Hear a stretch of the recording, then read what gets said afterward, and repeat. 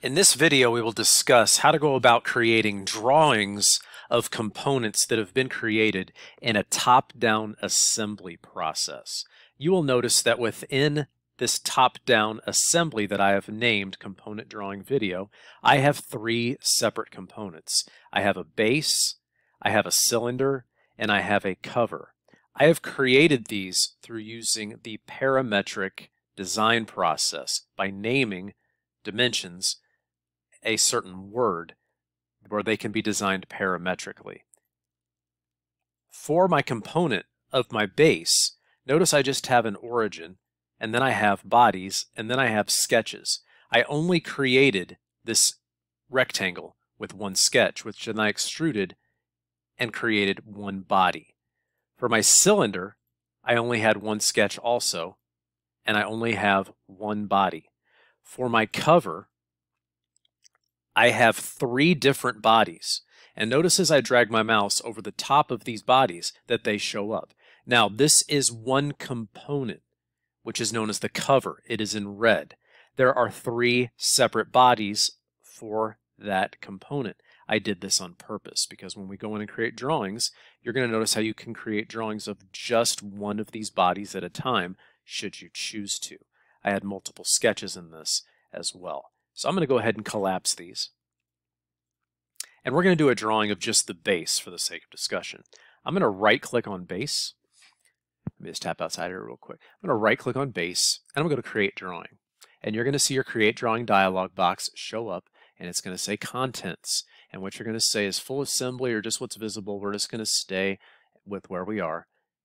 And we're going to go to my PLTW title block. If you're taking a class with me, you should have that already loaded. And we're going to say OK.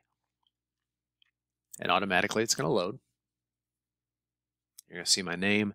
I can go ahead and edit my you know size here. I'm going to stay at a half. I'm going to say OK. And I'm going to go ahead and go to project, project my drawing.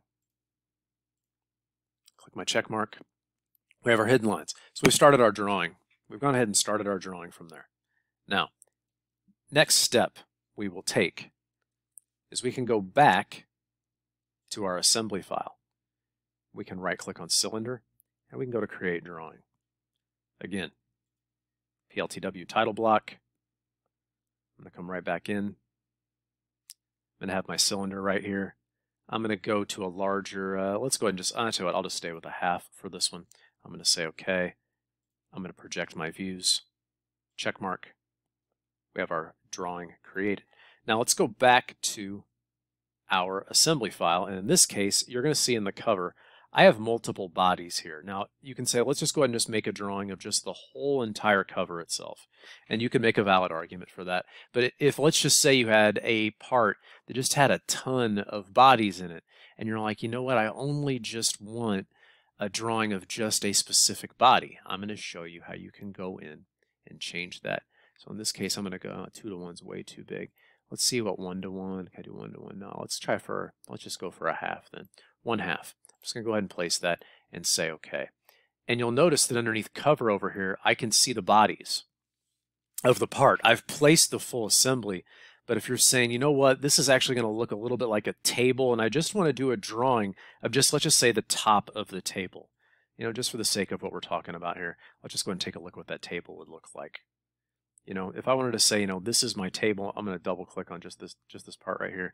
Let's go ahead and just change the scale for this I'm going to go to, it's one half right now. I'm going to go to 0.25 just for that, just so we can see it. And if you're saying, no, all I want is the top of the table, what I can do is I'm going to take away the visibility over here of those bottom bodies, and they go away. Now, if you say, no, actually, what I want to do is just those little side parts. And if you said, you know, really they're both the same size, I only need one of them, I can just do the drawing of just one. And notice how everything automatically changes. It's a nice step and a way to create drawings in Fusion. So when you have a full assembly and you just want one drawing of a particular component, you can just right click on that, go to new, new drawing, and that's how you can go about creating drawings. A common problem people have had is when they do top-down modeling, they don't see the part over here, all they see is the assembly. Well, this is how you can go about creating drawings within that top-down assembly model. So this has been a video for how to go about creating drawings from a top-down assembly process in Fusion 360.